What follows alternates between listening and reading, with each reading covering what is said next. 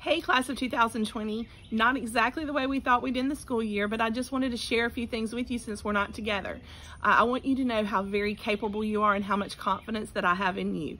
You guys are smart, you've worked hard, you're responsible, you're dedicated to things, and I can hardly wait to see the huge impact that you're going to have in this world. I'd like to ask that you stay in touch and, and so I can stay a part of your life and know what's going on with you. I also want you to know how special you are to me. Your class includes my niece Lauren, students I've taught one year, students I had the pleasure of having two years, students that I sponsored in Mu Alpha Theta, and students that I never had a chance to teach, but I love seeing your smiling faces every day in the hallway and getting to know you. Um, good luck in everything that you do. Work hard to make the impact you're capable of making. Please know you are loved and go Jags.